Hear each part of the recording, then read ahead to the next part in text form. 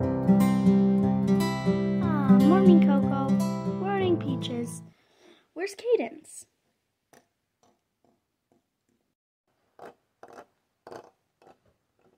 I was just grabbing some breakfast. Do any of you want to do it? Yeah, sure, I'll do it.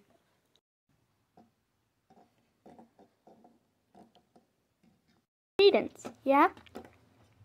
You ever think about getting a new herd member? What do you mean? Oh, I don't know. Just someone new? Maybe. But why? I mean, why would you want a new herd member?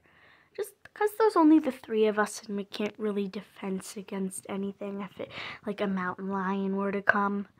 Yeah, I don't know.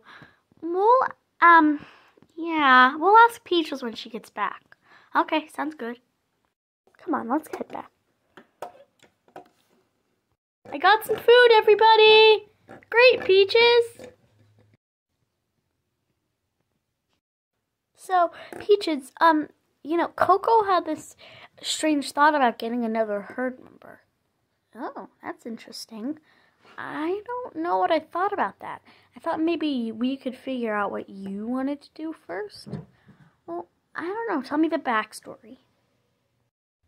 Well, um, you know, the herd member thing, I kind of like how it's just us three. We go on so many adventures, and you don't know. We are all friends because we all had a lot of things that were alike. And, you know, someone else, they might be different. So I think we should just stay. Well, okay. I I just thought it might be a cool opportunity to meet a new friend really don't understand why she would want a new herd member. Well, is there something wrong with us? Did you do something bad? Um, no? Did you? No, I honestly didn't. Did you? No?